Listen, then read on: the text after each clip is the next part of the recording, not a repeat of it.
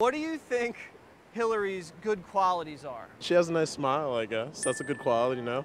Uh, You have a thing for Hillary? well, Uh, she's been in politics and in the White House for a long time. So she's a lifelong politician. What do you think Trump's good qualities are? I think he's uh, opinionated. He's uncorruptible.